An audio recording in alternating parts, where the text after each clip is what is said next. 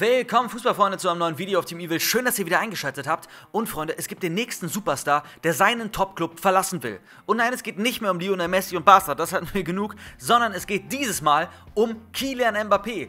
Der will nämlich angeblich laut der englischen Times PSG verlassen. Er hat schon mitgeteilt, dass er nächstes Jahr, also 2021, gehen möchte.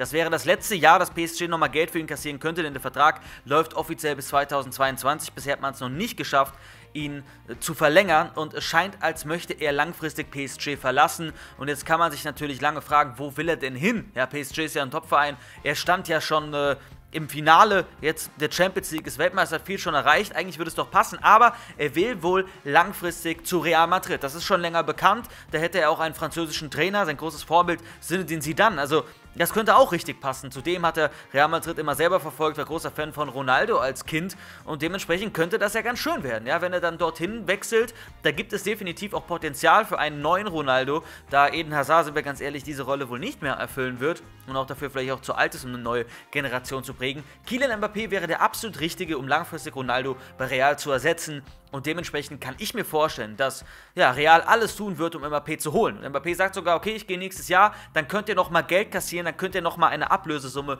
bekommen, denn äh, dann kann man ja noch, wegen diesem einen Jahr Vertragslaufzeit, können sie dann vielleicht nochmal 100 Millionen einspielen oder ich weiß nicht wie viel. Das ist Mbappé, der wertvollste Spieler der Welt, aber ein Jahr Vertrag ist auch nicht mehr so viel. Also da bin ich richtig gespannt. Ich kann mir vorstellen, dass das Ganze stimmt, ja, denn ich glaube, langfristig ist die französische Liga ja eigentlich keine, wo ich als Weltstar immer spielen wollen würde, weil eben das Niveau nicht so hoch ist. Ich glaube, in Spanien, in England, auch in Deutschland finde ich es deutlich höher als jetzt zum Beispiel ja, in der französischen Liga. Klar waren wir jetzt im Champions League-Finale. Es war auch ein bisschen glücklich so vom ganzen Turnierbaum her, dass PSG nicht so viele gute Gegner hatte. Ja, sie hatten äh, Atalanta Bergamo nichts gegen Atalanta, ähm, aber trotzdem jetzt nicht, nicht eine Champions League erfahrene Mannschaft, sagen wir mal so. Äh, dann hatten sie RB Leipzig, auch keine Champions League erfahrene Mannschaft. Ähm, also sie hatten es nicht ganz so schwierig. Und BVB gut, das war noch so das schwierigste Match, aber trotzdem.